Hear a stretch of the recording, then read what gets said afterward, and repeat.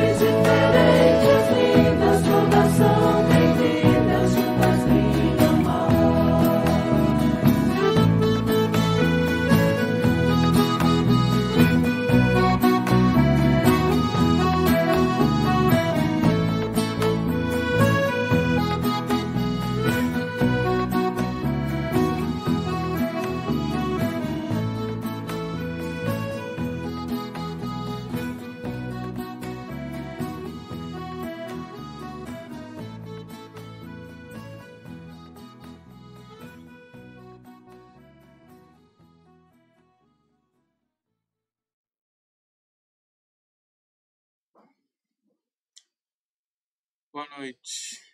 Seja bem-vindo, seja bem-vindo nesse momento de oração e também de reflexão. Desejo assim que o Espírito Santo, Jesus e Deus que se revelam a nós de diferentes formas estejam com todos nós lá onde nós nos encontramos. Amém. As palavras bíblicas desse dia nos dizem assim, de Isaías 59, versículo 19. Temerão o nome do Senhor desde o poente e a sua glória desde o nascente do sol. E de Lucas 13, versículos 29 e 30. Muitos virão do Oriente, do Ocidente, do Norte do Sul e tomarão lugar à mesa no reino de Deus. Porém, de fato, há últimos que serão primeiros e primeiros que serão últimos. Essas palavras nos animem e elas também nos indiquem a direção para onde nós devemos também ir. Nos orientem em nosso caminho. E assim eu também convido vocês a, ao final do momento de oração, novamente escutarem, prestarem atenção também na letra da música que nós antes ouvimos, pois ela justamente é baseada nesse versículo bíblico de Lucas 13, 29 e 30. Lembre que essa semana os nossos momentos de oração e reflexão ainda são gravados e na próxima semana assim também retornaremos com eles de forma ao vivo. Mas não deixe de escrever o seu motivo de oração, de intercessão, de agradecimento, pois Deus acolhe a nossa oração quando ela é feita de forma sincera. Assim, quero refletir com vocês nesse dia sobre aquilo que temos em comum. O que uma viúva, um cego, um paralítico, uma prostituta e um morto têm em comum? Jesus, talvez você diria. Não, mas não é isso. O que os une em suas muitas diferenças, na complexidade de cada um deles, nos variados contextos existenciais em que estão inseridos é a dor, o sofrimento e a angústia deles e daqueles com quem eles convivem.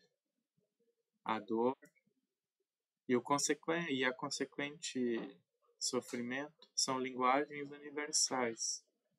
Pessoas que as carregam se identificam com um olhar sem necessidade de palavras. São realidades que dispensam explicações e diante das quais nossa pergunta desajeitada, como você está, na maioria das vezes cai no vazio de um olhar que nos atravessa. E é assim também na história da humanidade, que a dor e a morte impressionam mais do que a vida. Talvez em uma contraditória complexidade é necessário sofrer para que a vida seja reconhecida, compreendida e levada a sério. Quem sabe nos torne mais humanos é a frase que ouvimos e aprendemos desde muito cedo. E aqui está o elo com as Escrituras Sagradas. Jesus foi irresistivelmente atraído pela dor humana. E de certa forma, talvez possamos dizer que em cada sofredor que a avistava e para os quais sempre trazia uma ação abençoadora, ele identificava a si mesmo em uma forma de projeção do sofrimento que viria a encarar na cruz. Para Jesus, o ser humano dilacerado pela dor apontava para o Messias sofredor do futuro. E para os doentes e oprimidos, Jesus apontava para a realidade da salvação disponível a todos no presente. E por falar em salvação, é bom que se entenda que salvação nos evangelhos possui o termo, o mesmo sentido que no Antigo Testamento, ou seja, salvar de um perigo. E é nesse sentido que Jesus diz à mulher com hemorragia que, sentira, que se sentiu curada por ele com um mero toque: Filha, tua fé te salvou, vai em paz e fica livre do teu mal, segundo Marcos 5, versículo 34. Salvação significa aqui ficar livre da doença que a oprimia por 12 anos. Ser salvo por Jesus é ser livre dos perigos que nos cercam e também nos aprisionam, sejam eles o diabo, a morte, é, doenças físicas, depressões. Não existe salvação abstrata, assim como não existe sofredor abstrato. A história de Jesus entre nós constrói um percurso de sensibilidade àquela pessoa que sofre ele não discutiu conceitos sobre o sofrimento nem sua origem. Ele estava, isso sim, atento a uma mulher que, depois de perder o esposo, também perdeu o filho único. E por isso o evangelista Lucas nos relata: vendo-a, o Senhor se compadeceu dela e o restituiu à sua mãe. Talvez ninguém tivesse percebido aquela mulher e sua dor, Jesus não. Ele compartilhou da dor e ressuscitou seu filho, devolvendo-o a ela. Jesus foi solícito ao pedido de um pai em desespero diante do, da doença da filha, e não importava que ela fosse um dos chefes da sinagoga. Para Jesus, discussões religiosas tinham a menor importância diante da necessidade de atender a um sofredor. Ele acompanhou Jairo, e mesmo diante da notícia de que a garotinha havia morrido, ele desafiou o pai, conforme o evangelista Marcos: Não temas, crê somente. Jesus é tão sensível às necessidades humanas que, depois de efetuar é, um portento com a ressurreição da menina, desce às questões mais cotidianas da vida humana, orientando aos presentes, certamente em choque diante daquele feito que dessem, a, dessem comida à querida filha de Jairo. Uma viúva e um pai, ambos sobre a opressão da morte que os atingia e tira o sentido da vida, ambos ao experimentar o mistério do sofrimento, nos representam e principalmente a todas as pessoas que sofrem de todos os tempos Ambos, ao serem alvos da misericórdia e do amor de Jesus Cristo, experimentam salvação. Discussões sobre o sofrimento, sua origem, o porquê de seus filhos terem morrido? Não, não há espaço para isso, não mais. Certamente tais questões perdem sentido diante da demonstração de poder e amor de Jesus. o que temos em comum? O que nós, seres humanos, temos em comum? Temos em comum nossa vocação para o sofrimento. Ninguém o procura, mas ele se aproxima de nós e nos atinge. Em algum momento da vida, certamente ele se apresentará, e nesse momento, muito mais do que em qualquer outro, Jesus terá um olhar especial, um toque sensível, uma palavra de poder para nos salvar, para nos transformar e para enxugar as nossas lágrimas. E então teremos em comum não apenas a dor, mas a experiência da graça que é inexplicável. Nós, sofrimento e Jesus, uma relação complexa, intensa e também profunda. Que Deus abra nossos corações e mentes para que possamos continuar refletindo em Sua palavra e encontrar alívio quando sentirmos a dor, o sofrimento, para que possamos viver o Teu Evangelho de amor e de alegria. Amém. Se nós queremos nos colocar diante de Deus e orar por proteção.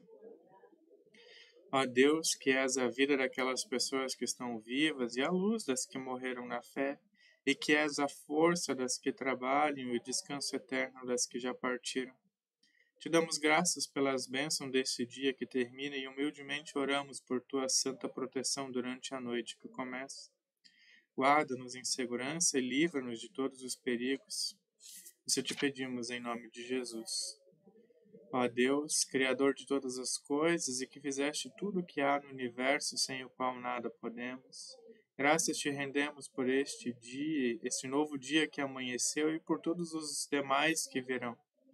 Te suplicamos por tua presença, por tua companhia, dá que encontremos a unidade em ti que nos alegremos no vínculo da paz e que partilhemos com justiça os recursos da terra e que ninguém passe pela experiência da fome, da violência, da opressão e que nada em tua criação experimente a expoliação, a humilhação. Visita-nos nessa noite, ó Senhor, e nos livra de ciladas e perigos e que teus santos anjos habitem conosco para nos preservar em paz e também em segurança que nas incertezas da noite tenhamos nossas vidas firmadas na fé e confiemos inteiramente em tuas mãos, para que faças florescer em nós a vida e a saúde e transformes os desertos de nossas vidas pessoais e familiares em mananciais de vida, amor e alegria. Por Jesus Cristo, nosso Senhor, é que oramos, na unidade do mesmo Espírito. Amém. A bênção do Todo-Poderoso Deus, o Pai, o Filho e o Espírito Santo, venha sobre nós e permaneça conosco hoje e sempre. Amém. Nos vemos assim na sexta-feira para mais um momento de oração e de reflexão. Até lá e que Deus nos dê uma abençoada semana. Amém.